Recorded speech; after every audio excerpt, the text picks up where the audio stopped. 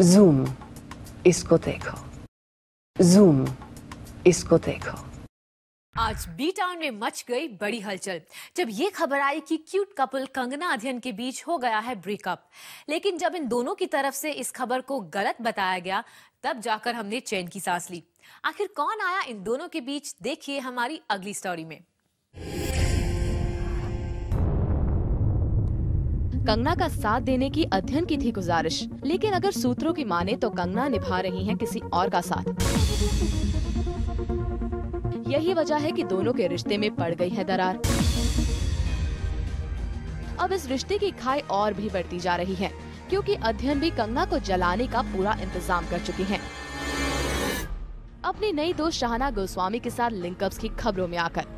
मुंबई के एक अखबार का दावा है कि कंगना और अध्ययन दोनों ने अपने लिए पार्टनर्स भी ढूंढ लिए हैं। कंगना ने जहाँ बाबरा मोरी के भाई किंटारो में ढूंढा है अपना नया दोस्त तो वहीं अध्ययन सुमन और जश्न में उनकी बहन बनी शाहना गोस्वामी के बीच नजदीकियों की खबरें आ रही है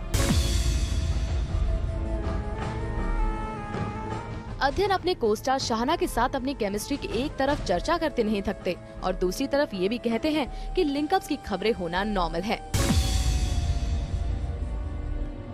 लेकिन अब बताती हैं आपको वो खबरें जो अब तक कंगना अध्ययन के रिश्तों में कड़वाहट खोलते रहे हैं। फैक्टर नंबर वन पापा की नाराज़गी। सबसे पहली बात, राज टू में जब से कंगना और अध्ययन का प्यार रील से रियल होने लगा, ये खबर अध्ययन के पापा यानी शेखर सुमन को बिल्कुल भी पसंद नहीं आई।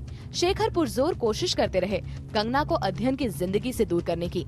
यहाँ तक कि कई इंटरव्यूज़ में शेखर ने इस रिश्ते को लेकर अपनी कड़वाहट भी ज़ाहिर की। शेखर सुमे ने राष्ट्र की सक्सेस पार्टी में कंगना को उनके एक्स बॉयफ्रेंड आदित्य पंचोली और उनकी पास्ट की बातों को सुनाकर इंसल्ट करने की कोशिश की। यहाँ तक कि जब पार्टी से कंगना निकली तो अध्ययन उन्हें मनाने भी नहीं आए।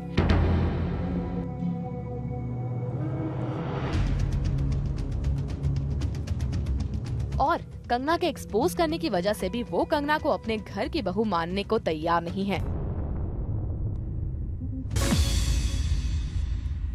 फैक्टर नंबर टू कंगना के ताने। तुम लंदन में पड़े हुए हो। तुम अमेरिका में पढ़े हुए हो।